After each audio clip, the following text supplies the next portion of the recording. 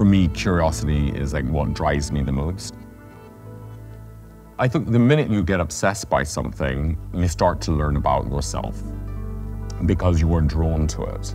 And by being drawn to it, there is either something that you are searching for or something that you are lacking, or you want to find a new way of looking at things.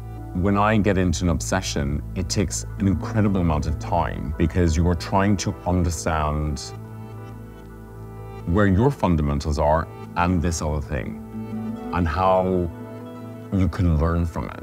If you wake up in the morning and you have not seen something new in a day, then you're not looking.